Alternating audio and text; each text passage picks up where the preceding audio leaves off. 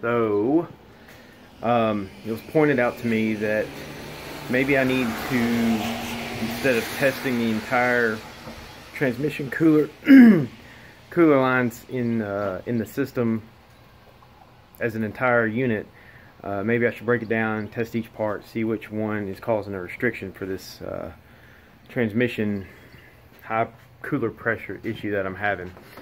I was able, I didn't record it, but I was able to get flow through the entire system with my old transmission cooler, but it was uh, running around 130 pounds of pressure to do it. So what I've done is I will be um, taking the parts apart and flowing them individually. So let me show you what I got. So here I have the new transmission cooler that I got for Rocky Mountain Race Week. Um, it's a Doral, Darrelly, or whatever cooler uh, fan combo. I took the fan off. Um, you can see it's got large lines in it. The old cooler that I had forever in this thing is this unit, which I don't remember the brand, but I think it's a reasonable cooler. It's uh, always set up front um, in front of the radiator, and the transmission was always like 120 degrees. With the new intercooler setup, I had to put the transmission cooler under the bed so I needed to add a fan to it and that's why we have this second cooler. But I'm gonna redo my setup a little bit and show you what how it'll do with each part. So one of the first things I've done is I've taken this is what I was running the entire system through this little 8th MPT fitting so that I could read a pressure and uh, I changed it over to a quarter. So it should at least have a, a reasonable ID on it um, so as not to restrict flows coming straight out of the pump. So I'll be taking my pressure reading from there and then um, the first thing I'm going to do is do a control test. I'm just going to hook this up to the pump and dump it straight into a can, run it, see if it builds any pressure that way. Okay, so now I've got everything together for a little control test. We'll just see if the system builds any pressure on its own and I also added a relay to the fuel pump setup so it's like 2% less sketchy. We'll see what this does here. I don't know if I'll be able to hold the camera and do this at the same time.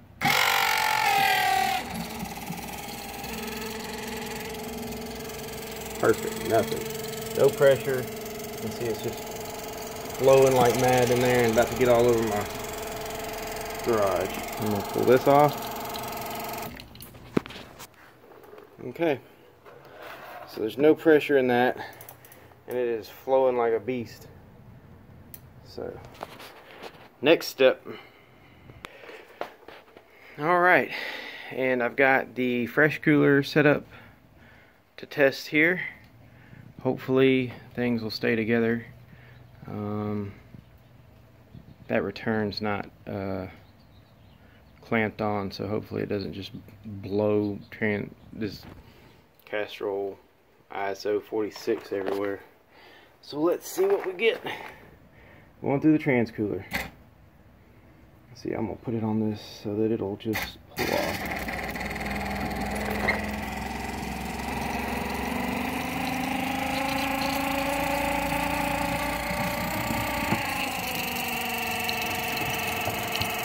just blowing through there pretty good. 20 psi. Okay. That's not the problem.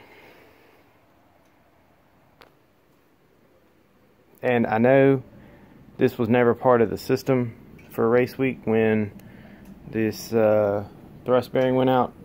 I'm still going to test this cooler just to have a little bit more peace of mind. So here we go. We'll see if I can do this one-handed.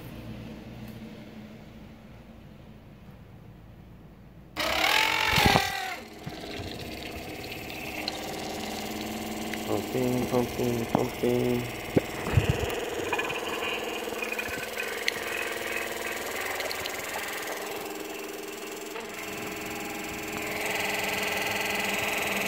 may not have enough fluid in there. I'll test this again in a second. Oh no, you can see it. Steady stream coming out. No pressure on this cooler. So now what I have out here is I have all three of my transmission cooler lines. The From the trans to the radiator, radiator to the external cooler, and external cooler back to the radiator. So these are all three of the lines. Um, and I'm going to test them one at a time.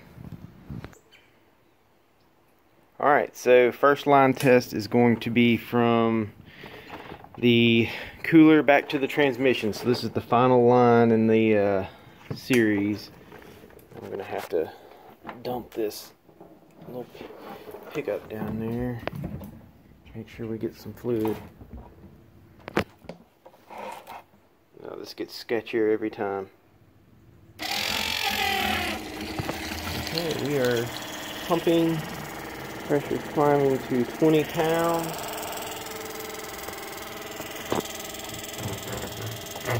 Pretty steady flow of fluid in there.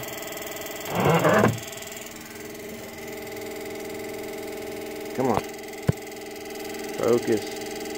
Like 22 pounds. 25 pounds. So that doesn't seem to be an issue. Okay, next test. I believe we have the line from the transmission going to the radiator. I just kept them together since that's the way they are, but stuck them both in there just in case I got them mixed up.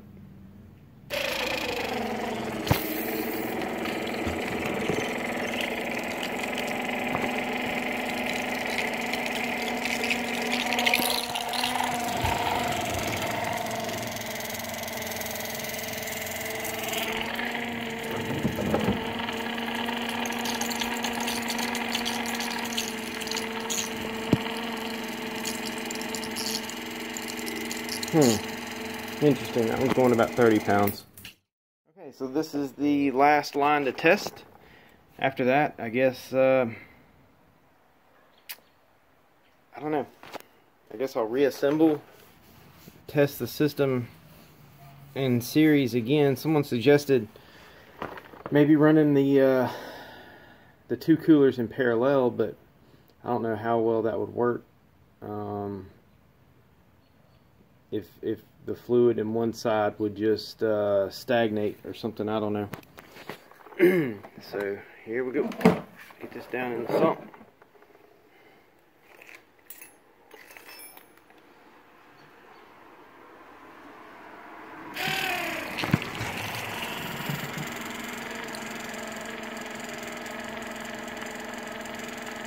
Thirty-five, forty pounds, and it is just running away with that fluid.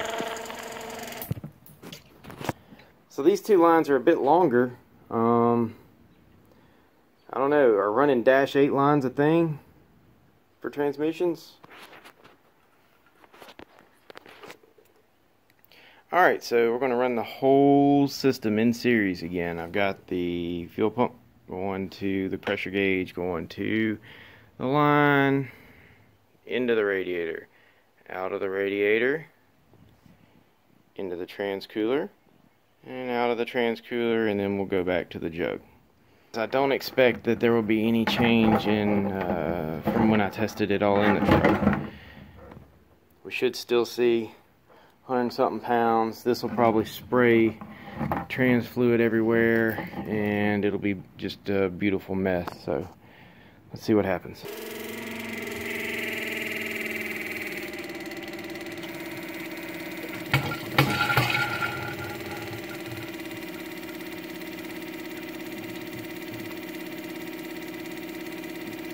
100 pounds and it is flowing now.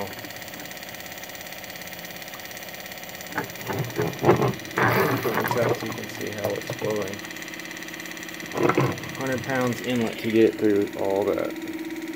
95.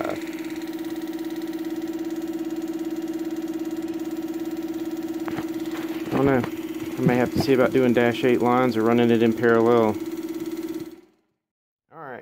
So going to try the full system again. uh, now with the old transmission cooler in the same all-in-line setup.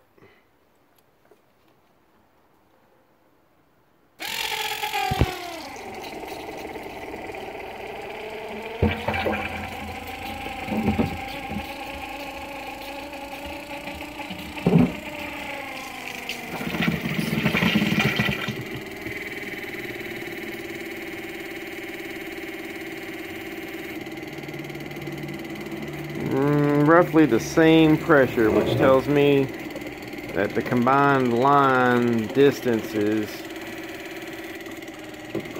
with their size is likely the issue, not the coolers. Okay, so I have developed another sketchy test. Now I am going to check type F fluid through here to see if maybe the fluid that I'm using is an issue. So we're gonna kick the fuel pump on, hope it doesn't kick this over and see what kind of pressure we're running here.